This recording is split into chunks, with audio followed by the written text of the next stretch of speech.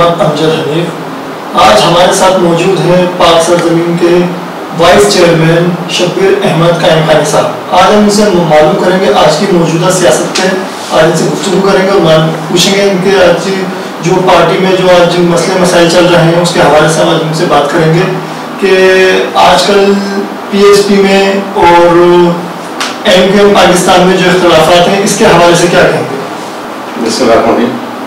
इख्तलाफत तो कोई से इख्तलाफत नहीं है हमारे हम अपना काम कर रहे हैं अपना काम कर रहे हैं। लेकिन मीडिया टॉप जो देखी जाती है जो हमारे जराए बताते हैं तो उसमें तो बड़ी कशीदगी नज़र आती है। किस हवाले से आप पूछें डिटेल पूछें किस हवाले से? सबसे पहली बात तो यह है कि एम आपको पता है एम के एम साथ हो गई अब पीपल्स पार्टी के और मुस्लिम लीग नून के। हम्म। आप इस बारे में क्या बोलेंगे? इसमें आवाम का कितना मफाद है आवाम को उससे कोई फ़ायदा होगा या नहीं होगा?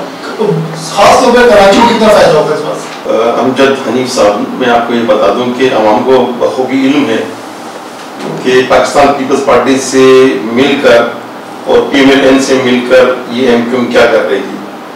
क्योंकि इससे पहले भी जब एमक्यूएम बहुत ज़्यादा ताकत में थी, जब एमक्यूएम में धड़ेबंदी नहीं हुई थी, तब ये भी एमक्यूएम इन लोगों इन पार्टियों से इतिहाद करती रही है। लेकिन आवाम की जो मसाइल में जू के तू हैं, पढ़े लिखे नौजवान आज भी बेरोजगार है।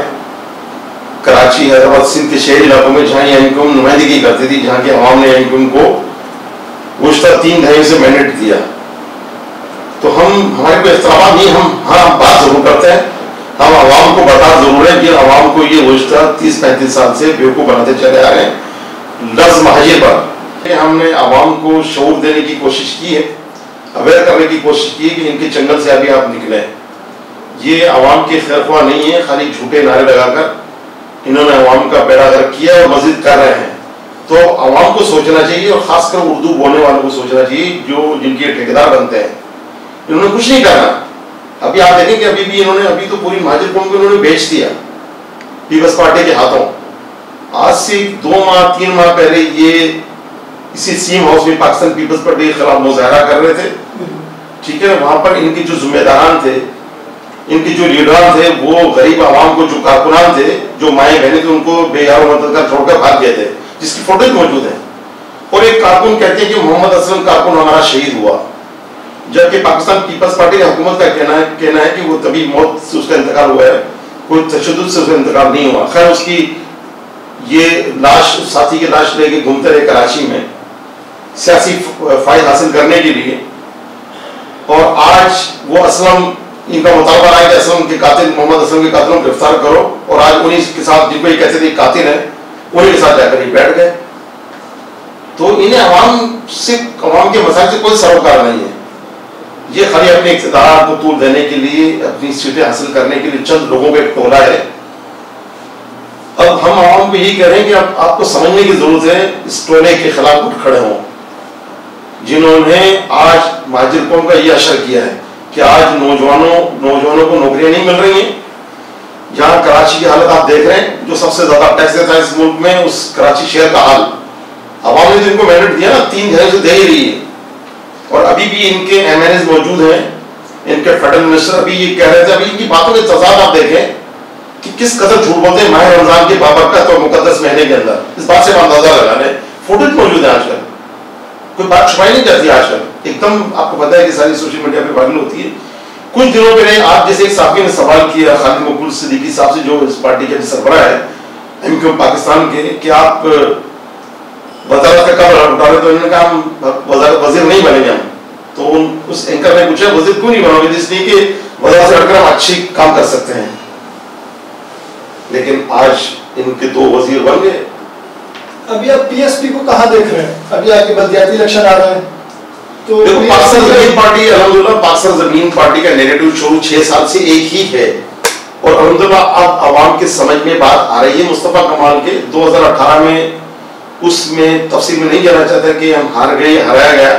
लेकिन गुजर गए वो चार साल पौने चार साल का अरसा हो गया। लेकिन आप ये देखेंगे पौने चार साल में क्या आया कि हम छोड़कर भाग गए। जबकि शुरू शुरू में जब हम इलेक्शन हारे थे तो एक प्रोपेगेंडा किया गया पाकिस्तान ज़मीन पार्टी के खिलाफ सोशल मीडिया पे वीडियोस वायरल की गई कि छोड़कर भाग गए, चले गए। जैसे आए थे वैसे ही चले गए। तो आप देख रहे हैं कि अलहमदुल्ला, उस बात को आज पौने सब चार साल का अर्सा गुजर गया है।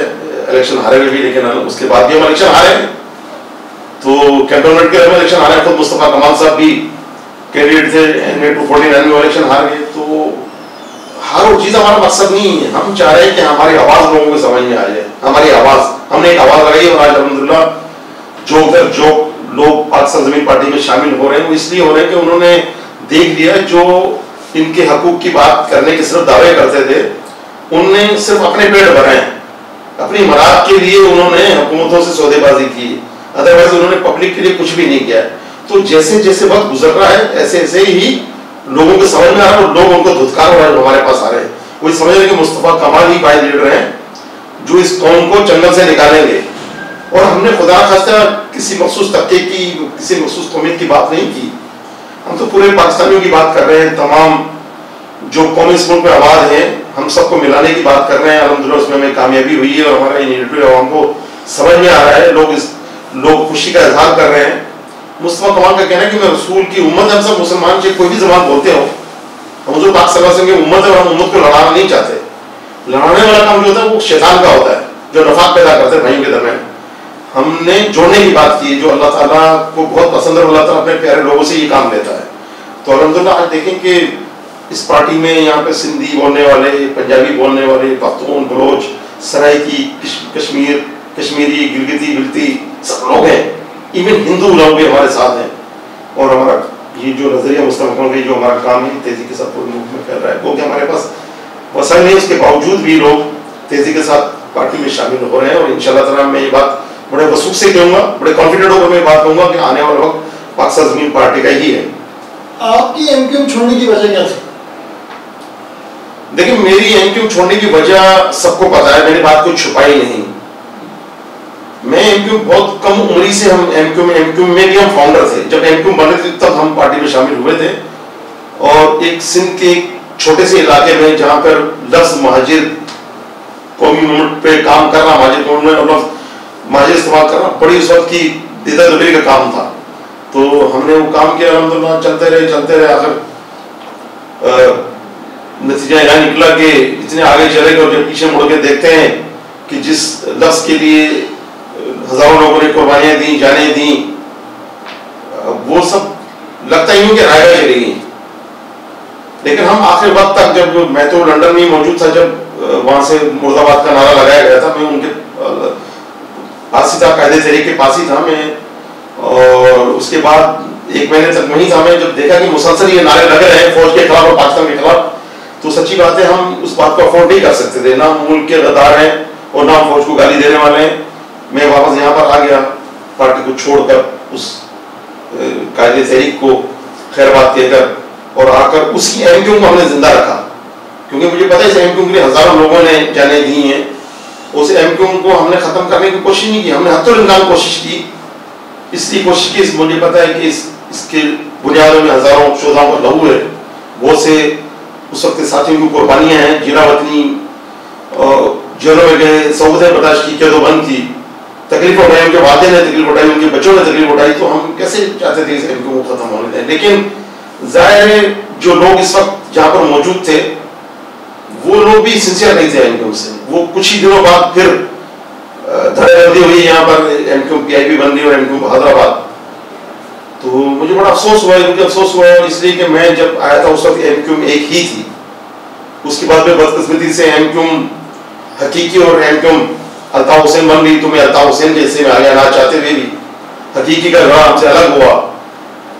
ना चाहते हुए ना चाहते हुए मतलब नहीं चाहते थे कि कौन तकसीम हो। पार्टी तकसीम हो लोग तकसीम हो। हमने एक ना एक साथ काम किया है एक साथ जदोजहद की है। नहीं थे फिर भी आप फिर ये हो गया फिर मैं तो फिर मैं कह रहा हूँ तो अल्ताफ हुसैन के साथ है ना। उस वक्त हम अलता हुसैन के हिस्से में आ गए और एमक्यू हकीकी बन गया एमक्यू हकीकी हमने ज्वाइन नहीं की तो धड़क हमारे सामने ही हो गए। और फिर देखते देखते फिर एमक्यू पाकिस्तान और एमक्यू लंदन बन गई तो फिर मैं एमक्यू पाकिस्तान के हिस्से में आ गया। मैं डिवाइड होता चला गया। मैं समझा हर काम डिवाइड होता चला गया। एमक्यू पाकिस्तान के हिस्से में आ गया। जब यहाँ काम करते रहे, कुछ ऐसे बात फिर यहाँ लड़ाई हो गई। जब यहाँ लड़ाई हुई तो फिर मैं अपने मौके पर खड़े हुए यहाँ पर हम एमक्यू मैं फिर एमक्यू पाकिस्तान के हिस्से में आ गया। एमक्यू पीआईबी बन गई। तो मैं ये देखता हूँ कारकुन डिवाइड होता ही चला गया। मैं अपनी मिसाल मैं कारकुन की बात कर रहा हूँ कि आवाम अब कंफ्यूज हो गया हम कहाँ जाए। तो जब हमने हाल देखा कि ये लोग तो कौन के सिंसियर नहीं है मजीद कौन को डिवाइड करेंगे तो मैंने वहाँ बैठ के एहतजाज किया, बातें की, लेकिन मैं ये समझता मेरी बातों में कोई वज़न नहीं था वैसा नहीं था इसलिए मैं अलग हो गया अलग होकर मैं खामोश बैठ गया। अच्छा एक बात बताएँगे जब आपका कहना है कि आप खुद कंफ्यूज हो गए कि मैं किस तरफ़ जाऊँ, आपके कारकुन भी कंफ्यूज अब इस कंफ्यूजन में तो मुल्क का तो कोई कुछ कर नहीं सकता ना वो तो अपने ही भी फैसला नहीं कर पा रहा कि हमें कहाँ जाना है। मैंने ये ना कंफ्यूज की बात नहीं देखो बात बैठकर हमने जिस फॉर्म में बैठे थे ना, हमने बात की कि हमारे इस अमल से लोगों को तकलीफ़ पहुँच रही है, उन लोगों को तकलीफ़ पहुँच रही है, उन फैमिलीज़ को तकलीफ़ पहुँच रही है, जिनकी, जिनके घरों से जनाजे उठे जिन्होंने सुबह सोबतें बर्दाश्त की हैं, जिन्होंने कुर्बानियाँ दी हैं। तो खुदारा, हम आपस की इन नाराजगियों को, इन इख्तलाफात को एक तरफ़ रखकर, हम कौम के बेहतर मुफाद हम काम करें मिलकर। लेकिन यहाँ पर लड़ाइयाँ थी सरबराही की। फारूक सत्तार बनना वो, अपने क्या कहते हैं खाली मकबूल सिद्दीकी वहाँ पर बनना चाह रहे सरबरा तो उन के बीच के अंदर हम लोग इस्तेमाल हो रहे थे। तो हमने समझाया जब नहीं समझ रहे तो फिर हमने की अख्तियार कर ली अपनी इज़्ज़त बचाने के लिए। और बैठकर पार्टी से हमने रिजाइन किया। और पार्टी ज्वाइन की तो खुदा ना खासा किसी मैं कोई किसी के साथ नहीं मैंने ज्वाइन की। वरना लोग अपने अहदे के साथ, अपने वज़न के साथ किसी दूसरे पार्टी को बार्गेनिंग करके ज्वाइन करते हैं। वैसे एक कारकुन मैंने तो एमक्यू से रिजाइन किया एमक्यू की अमानत, जो आप देखिए मेरी फेसबुक आईडी पे सोशल मीडिया पे वायरल हुई थी तो मैंने बाकायदा तौर पर वो अमानत लौटाई। और बड़े कर्ज से जो मैंने बात की, उस मेरे अपने वीडियो प्रोग्राम मेरे पैगाम में ऑडियो पैगाम में, कि मुझे मुझे मुझे बहुत तकलीफ़ हो रही है कि ज़िंदगी के तैंतीस साल में एक पार्टी में लगाकर और आज मैं क्यों छोड़ रहा हूँ? मैं इसलिए छोड़ रहा हूँ, उनकी हरकतों की वजह से मैं छोड़ रहा हूँ। तो ये सेनेट के इलेक्शन से बैक हो गए सेनेट के इलेक्शन के अंदर से बिल्कुल जब सेनेट के इलेक्शन की बात से हुआ मैं सेनेट के इलेक्शन में तो मैंने भी वो ऑडियो पैगाम भी मेरा रिकॉर्ड पर मौजूद है। मैंने कहा था कि आप तकसीम ना हो। असल में मैं भी ज़ाहिर कैंडिडेट था तो एक डिस्प्यूट मसला बन रहा था। कमर कैसोरी और तीन चार जो लोग थे उस पर मैंने कहा यार आप ऐसा करें। मैंने बैठ के बात की है और मैं आपके प्रोग्राम के तवसु से आपके चैनल के तवसु से मैं मेरे से कोई बैठ के बात कर रहे मैं क्यों हैदराबाद के तमाम अहदेदारान और तमाम उनको मैं चैलेंज करता हूँ। मेरे सामने बैठे कि मैंने नहीं करा क्या या उनको आप कसम दे के पूछेंगे, मैंने बिल्कुल ये तकसीम होने से एम क्यू पी और भादरा बनने से बंद कमरे में बैठ के मैंने कहा था। मैंने कहा, ये सलामत मेरी सीट की वजह आप कह रहे हैं क्या? आपको, आप फारूक सत्तार से लड़ रहे हैं कि नहीं शबीर कायम खानी को सीट दें और फारूक सत्तार कह रहे थे कि उनको दे कावन नसीर को? तो मेरे मेरे नाम की वजह से आप क्यों लड़ रहे हैं मैं बेक हो जाता मैं बेक हो कम आप पार्टी को तकसीम ना करें। और इसके मुतमिल हो नहीं सकते। पहले ही हम इतने जख्म खोलता है। तो अब इस बात के मुतमिल हो नहीं सकते कि हम मजीद और अलहदगी हो जाए। तो मैं बेक हो जाता हूँ। कोई बात नहीं। मुझे वैसे ही अल्लाह ने इज़्ज़त ज़रूरी कि मैं सेनेटर बन के बनूं। तो लेकिन मेरी असल, मेरी बात को नहीं माना। बादराबाद वाले जुमेरा मेरी बात को नहीं माना इसलिए कि मुझे आगे करके वो अपने सबड़े चक्कर लड़ाई कर रहे थे। तो मैं समझ गया था। तो मैंने तो बाकायदा रीजन मैंने कहा मैं बेक हो जाता हूँ। मैं फॉर्म और मैंने और मैंने आप ये भी रिकॉर्ड पर मौजूद है मैंने फॉर्म नहीं भरा सेनेट का मुझे कैसे रहे मेरे घर पर आए क्या मैंने कहा मैं नहीं भरूँगा फॉर्म आप लोगों के डिवाइड होने से कराची को फ़ायदा हुआ नुकसान? देखो कराची को तो पहले जब साथ थे तब भी को कराची ऐसा कोई फ़ायदा हो नहीं रहा था। असल हाँ अब अब यही तो हम शौर दे रहे हैं कराची के शहरियों को कि जितनी कुर्बानियाँ कराची के लोगों ने दी उतना कराची को मिला नहीं। कराची के लोग इस्तेमाल होते रहे एक नारे के पीछे। उसमें हम भी शामिल थे ना हम भी तो थे। अगर हम ये कहते हैं, हम नहीं हम उसका हिस्सा थे, लेकिन जब जब बात हम समझ गए हैं, जब अकल में आ गई है तो हमने किनारा किनारा किनारा कशी की, और आज हम एक नए नेरेटिव के साथ हम काम कर रहे हैं, लोगों को बता रहे हैं, लोगों को तबलीग कर रहे हैं जहाद कर रहे हैं, यही तबलीग कर रहे हैं कि खुदारा इन नफरतों में लसानियत में, तासुब में, असलियत में कुछ भी नहीं रखा है, सिवाय नुकसान के। क्यों हम सब मिलकर इस पाकिस्तान के लिए, जो कि हमारा मुल्क है, बड़ी कुर्बानियों के बाद हमने हासिल किया है और फिर ये सूबा हमारा, और खास बात फिर ये सूबे का दारुल खिलाफा कराची, जो एक मुआशी हब है, पाकिस्तान का तो इसको क्यों नाम संभाले तो मुस्तफ़ा कमाल एक डायनेमिक लीडर है, इन्होंने पहले भी जब इनके पास अख्तियार थे, इन्होंने कराची को बनाया, इंशाल्लाह ताला अगर कौम हम पर एतमाद करेगी, हमें मेहनत देगी तो यकीनन फिर हम फिर हम अवामनास की ही खिदमत करेंगे अवामनास के ही काम करेंगे। ये जज्बे के होकर हम अब ये पार्टी में हम काम कर रहे हैं, और अलहमदुल्ला लोगों की बात समझ में आ रही है, मुस्तफ़ा कमाल का नेगेटिव समझ में आ रहा है? और लोग जो तजुर्बा पार्टी में शामिल हो रहे हैं। अब उनका चेहरा भी लोगों ने देख लिया है जो उनको पता है कि सभी अपनी वजारतें लेने के लिए ये लफ्ज महाजर इस्तेमाल कर रहे हैं अदरवाइज़ कुछ भी नहीं पीटीआई की कारकर्दगी के बारे में क्या बोलेंगे? उसके उससे कराची को फ़ायदा हुआ है कोई फ़ायदा नहीं हुआ? यार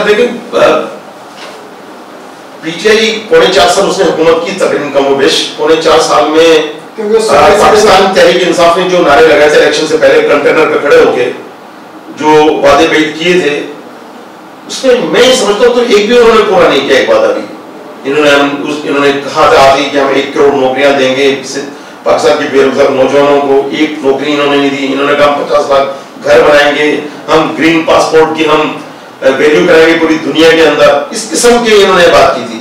लेकिन इन्होंने सब बातों से हटकर और कौन कौन इन्होंने भैंस पालने का दर्द देने लगे, ये मुर्गी अंडे की बात करने लगे। तो ज़ाहिर है, आप कहा दुनिया कहाँ पहुँचे, आप अंडों और मुर्गी की बात कर रहे हैं। भैंस का कट्टा की बात कर रहे हैं।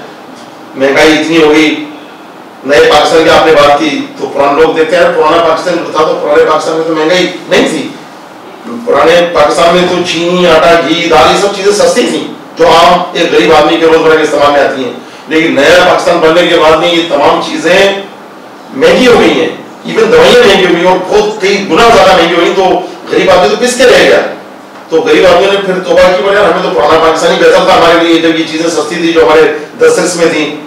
लेकिन आज कदर महँगाई हो गई है, गरीब आदमी का तो जीना मुहाल हो गया तो इसलिए तहरीक इंसाफ की डिलीवरेंस परफॉर्मेंस ज़ीरो बड़ा ज़ीरो है, नहीं बटा ले। तो लोग मुतमिन नहीं हुए यही वजह आप देख रहे हैं कि तमाम इत्तेहादी जमातें भी नाराज़ हो गई हैं।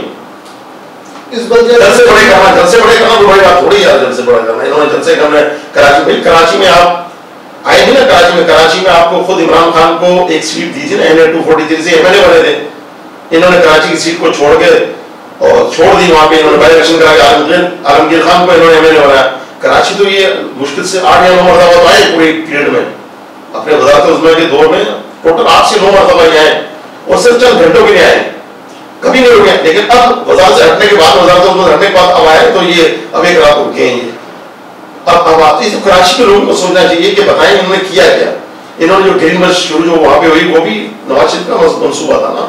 इन्होंने कुछ भी नहीं, कराची में एक बूंद पानी का कचरा नहीं दिया इन्होंने आज कराची के अवाम बूंद बूंद को तरस रही, समुद्र के किनारे आबाद होकर भी कराची के लोग परेशान हैं। कराची के कई इलाके से जहाँ पे पानी की बूंद तक नहीं आती है। और लोग बेचारे अफोर्ड कर नहीं सकते। कहाँ से टैंकर में? दुनिया का भाई शहर है जो, टैंकर के ज़रिए पानी सप्लाई किया जाता है। Tanker mafia. तो कोई कोई पुरसाना नहीं है। कराची की ट्रांसपोर्ट आप देखें बिल्कुल खत्म तबाह बर्बाद होकर रही है। सर्कुलर ट्रेन उन्होंने चलाई नहीं। कुछ भी नहीं किया कराची के लिए। तबाह बर्बाद कर दिया उन्होंने कराची को। तो अब कराची के आवाम को सोचना चाहिए कि नारों के पीछे लगोगे या वाकई हकीकी उस लीडर के पीछे लगोगे जो कराची के लिए जो कराची का मुकामी लीडर है जो दर दर है कराची के लिए। तो अभी कराची के आवाम को सोचना है। अगर कराची का आवाम इस मरतबा इस इलेक्शन में नहीं सोचेगी तो फिर कोई पुराना हाल नहीं है। फिर आवाम का खुद का कसूर है। फिर आवाम खुद कसूरवार होगी। अगर किसी अच्छे लीडर को उन्होंने और किसी अच्छी पार्टी को अगर नहीं चुना तो उन्होंने। इस बदले इलेक्शन में आप क्या समझते हैं? आप कुछ सीटें निकाल लेंगे या मेयर आपका आ सकता है? देखिए इस बताते हैं फ़िलहाल कराची में और हैदराबाद में नहीं हो रहे हैं लेकिन सिंध के चार डिवीज़न में मेरे को खास नवाब शाह में हो रहे हैं। उसमें इंशाल्लाह ताला अल्हम्दुलिल्लाह हमारी पार्टी भरपूर हिस्सा ले रही है। हम डेली की बुनियाद पर हम मीटिंगें कर रहे हैं और सिंध के यहाँ कराची से लेके कश्मीर तक कराची से कश्मीर तक हमारे नुमाइंदे इलेक्शन में हिस्सा लेंगे। और ये वक्त साबित करेगा क्योंकि सिंध की जो आवाम है, गरीब, वो भी तो बेचारी जुल्म के चक्की में किसी में ना पीपल्स पार्टी जो अठारह साल से हुकूमत चौदह पंद्रह साल से हुकूमत कर रही है क्या किया उनको? आज सिंध आप चले, लाड़काना चले, आप दादू चले, आप जेकोबा चले, उमरकोट चले, थर चले, जहाँ भी आप चले घोटकी चले, सिंध की गरीब आवाम के पाँव में चप्पल भी हाँ कुछ तबका ज़रूर फैजियाब हुआ, जो हमेशा होता है लेकिन आम आम सिंधी तो बेचारा आज परेशान है ना। ना वो बेरोज वो बेरोजगार है ना कोई नौकरी मिल रही है ना कोई रोज़गार मिल रहा है। परेशान है बेचारे जो रोटी कपड़ा और मकान की बात करती थी पार्टी उन्होंने सिवाय धोखा दी के कुछ भी नहीं किया सिंध के अवाम के साथ। सब लोग परेशान है। तो अब सिंध में एक बड़ा इंकलाब हर होगा आप देखिएगा और खामोश इंकलाब भी उठेगा एकदम। अभी नून लीग की हुकूमत है तो इसमें कुछ कराची को कुछ फ़ायदा पहुँचने के नून लीग की हुकूमत की उसको नहीं नहीं नहीं नून लीग की हुकूमत तो नहीं क्योंकि पीडीएम की हुकूमत सब मिलकर इसमें मौलाना तो फजल भी है। और पीपल्स पार्टी के तमाम जमातें हैं इसके अंदर। और एम क्यू भी इसमें है, जिन्होंने अभी दो वजारतें नहीं, ये कह रहे हैं वजारतें नहीं लेंगे हम आवाम के काम करेंगे। इन्होंने कुछ भी नहीं करना आवाम के। ये आवाम, उनको देख लिया, आवाम ने अच्छी तरह उनको पहचान लिया है। ये इलेक्शन आने दें ये अपने इलाकों में नहीं जा सकेंगे देखिएगा। लोग इनका पीछा करेंगे अब लोग। अब लोग इनसे हिसाब लेंगे। तीन में लोग इनसे हिसाब लेंगे। ये लोगों से साथ जो इन्होंने ज़्यादा की ना आप किसी जमात के साथ मिलकर चलने का प्रोग्राम है, आपका जमात इस्लामी हो गया, हकीकी हो गई। नहीं नहीं, हम खुद अपने काम कर रहे हैं, अपनी पार्टी अपना काम कर रही है, अपने नेरेटिव अपने, अपना हमारा परचम हमने किसी पार्टी पे कब्जा नहीं किया। ठीक है ना? इस वक्त जो बैठे हैं भाजपा पर एक कब्जा गिर हैं। कब्जा गिर इसलिए है कि ये पार्टी तो बानी की पार्टी थी ना? ये झंडा उन्हीं का था, ये नज़रिया उन्हीं का था, अल्ताफ हुसैन का, ये निशान पतंग उन्हीं की थी। तो ये उनकी पार्टी पे कब्जा करके बैठे हैं। ये छोड़कर जिस तरह जिस तरह पाकिस्तान ज़मीन पार्टी ने अपनी पार्टी बनाई, अपना नज़रिया, अपना मंशूर, अपना निशान डॉल्फिन ये कह रहे अपनी एक दुकान खोली अपनी, नहीं, किसी दुकान पे कब्जा नहीं किया। अलहमदुल्ला, ठीक है, हम आ गए। लोग नहीं थे हमारे साथ, लेकिन रफ्तार रफ्तार, देखिए किस तरह। मेरे सब दो शख्स आए थे ना, मुस्तफ़ा अली आज लाखों लोग हमारे साथ हैं। क्या उम्मीद है आप कितनी सीटें निकाल सकते हैं इस इलेक्शन में? लेकिन ये तो कम बात तो ये तो वक्त बताएगा इंशाल्लाह बार हम मेहनत कर रहे हैं कोशिश कर रहे हैं लोगों को पैगाम दे रहे हैं लोगों को समझ में आ रही है।